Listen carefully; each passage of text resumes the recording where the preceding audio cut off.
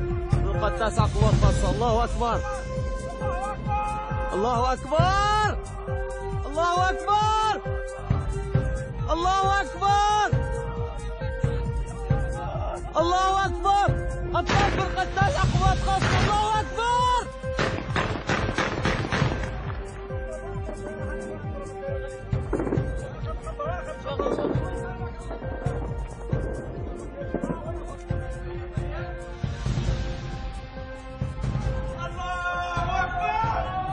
الله أكبر. فرقة تسع قوات خاصة. تم بعون الله إسقاط طائرة حربية وها هو المظلي. الله أكبر. الله أكبر.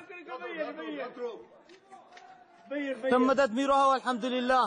بس بس شباب بدنا نقصر أسر. إيه ما عدا ما عدا ما عدا أبو ضرب شباب ما تعال شوفوا تعال شوفوا.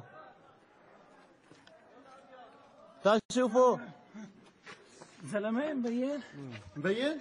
ايه ايه Islamic State terrorists claim they've shot down a Jordanian warplane from the US-led coalition over northern Syria and captured its pilot.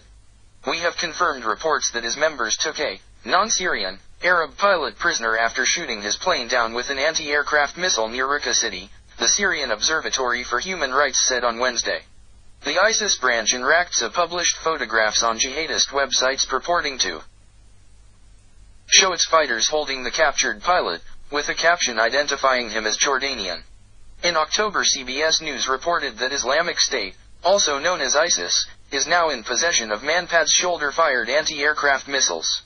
If ISIS claims about shooting down a warplane are true, it will be the first shot down by the group since the U.S.-led coalition began its airstrikes against the group in Syria three months ago.